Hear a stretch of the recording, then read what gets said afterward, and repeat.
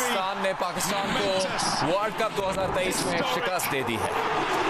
अफ़गानिस्तान ने world cup में पाकिस्तान को शिकस्त दे दी है। दो सौ तिरासी रन का हदफ दिया गया था जो बासानी अफ़गानिस्तान ने हासिल कर लिया। अफ़गानिस्तान ने पाकिस्तान को आठ विकेट से शिकस्त दे दी है। एक और अपसेट है ये वर्ल्ड कप का जिसमें अफ़गानिस्तान ने पाकिस्तान को आठ विकेट से शिकस्त दे दी है। पाकिस्तान ने पहले बैटिंग करते हुए दो सौ बयासी रन स्कोर किए जिसमें अगर पाकिस्तान के बैटर्स की बात की जाए इमामुल हक महज सत्रह रन बना सके। बाबर आज़म ने अच्छा स्कोर किया चौहत्तर रन बनाए। अब्दुल्ला शफीक ने अट्ठावन रन बनाए।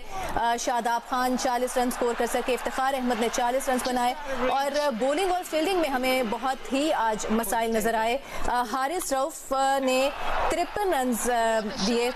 और ओसामा मीर ने पचपन रन खाए उनचास रन खाए शादाब खान ने और पाकिस्तानी मैच हार चुका है पाकिस्तान ने आज पहले बैटिंग करते हुए दो सौ बयासी रन बनाए थे लेकिन ये मजमू टोटल काफ़ी साबित नहीं हुआ पाकिस्तान के ये मैच जीतने के लिए। और अफ़गानिस्तान ने आठ विकेट से पाकिस्तान को वर्ल्ड कप 2023 के मैच में चेन्नई में शिकस्त दे दी। अफ़गानिस्तान आज की फातेह टीम है।